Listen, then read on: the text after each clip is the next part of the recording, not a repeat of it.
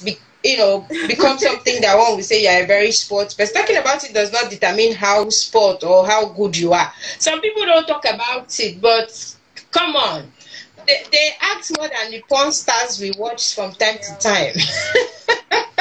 So the conversation is the key.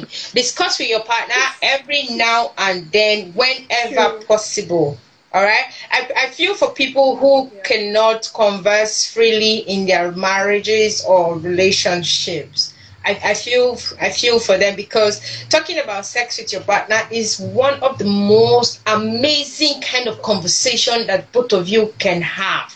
It is a different level of bonding. It is not a business bonding. It is not a family conversation bonding. It's not the monthly planning list. Mm-mm. It's a different kind of.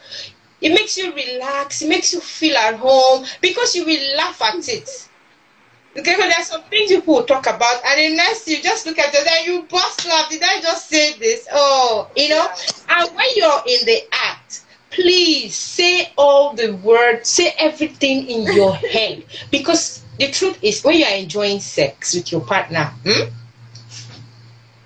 it comes from your hair like this. It begins to go down your body like this, like all your entire being is transformed into something else. That when you open your mouth to speak, you begin to speak in words that you cannot remember after everything. So if your if your partner cannot put you in that level, yeah, at least eighty percent of the time, you know, when I say every day, every day, mood, uh-huh. at least seventy or eighty percent of the time, no go area.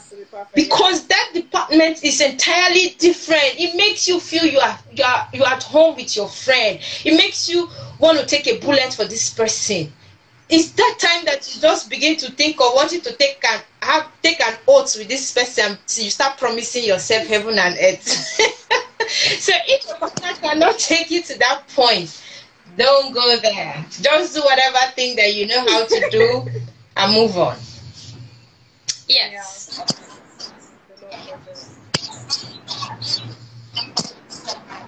So, as a sex therapist, you are saying that if you vibe with someone, like you, you know that okay, apart yeah. from sexual activity, this person is compatible with me.